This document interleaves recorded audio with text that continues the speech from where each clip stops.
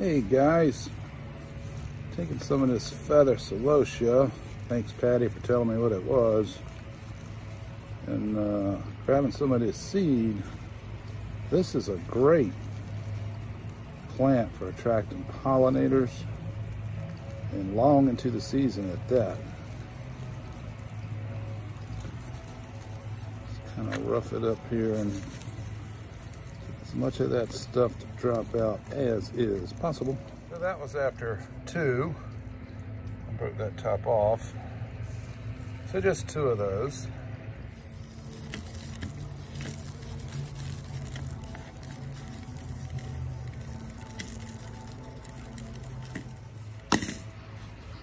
This is my clean bowl.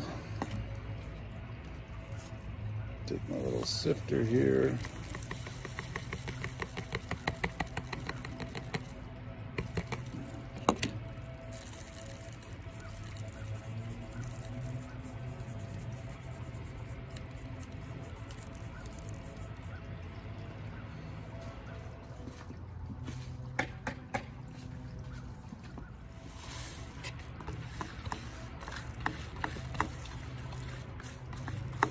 Stick a little bit. That's not from moisture. That's just plastic and seed.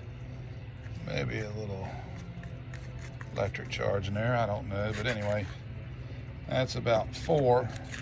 Well, that is four flowers. These tiny seeds.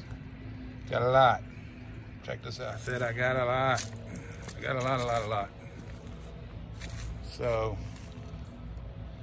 if you need some, or if you want some, just give me a holler see if I can get you some. Uh, I'm going to pull a lot of this tonight because it's getting ready to freeze and I don't know what that will do to this plant whatsoever.